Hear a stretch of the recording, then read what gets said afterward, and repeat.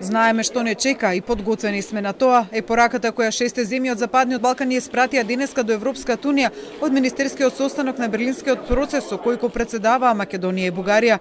Во заедничката декларација освен спроведување на клучните европски вредности се обврза и на меѓусебно поголемо поврзување и соработка.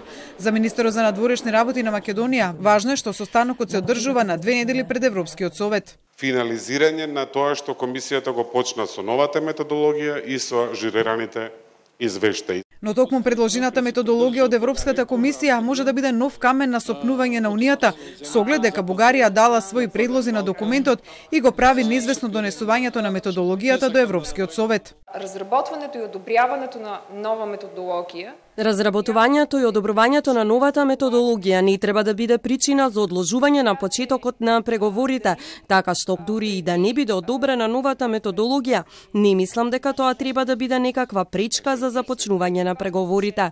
Предлозите кои ги дала Бугарија да се дополни методологијата за преговори се однесуваат на индивидуалните заслуги, консенсусот за носење одлуки во природниот процес, но и добрососедските односи. Захариева при тоа е децена дека принципот на добрососедство треба да биде многу јасно кажан во новата методологија. Димитров за добрососедските односи во контекст на договорот за добрососедство и историските прашања кои ги решава заедничката комисија меѓу Македонија и Бугарија, рече дека ќе треба голема мудрост ова прашање да се менаџира за да биде прифатено од јавноста во двете земји. Ја не гледам како тој процес може да заврши, освен со поголема отвореност од ваша страна за сегашноста и со поголема самодоверба од наша страна во однос на минатото. Не може ако некој херој кој што е важен и за Бугарија и за сега Северна Македонија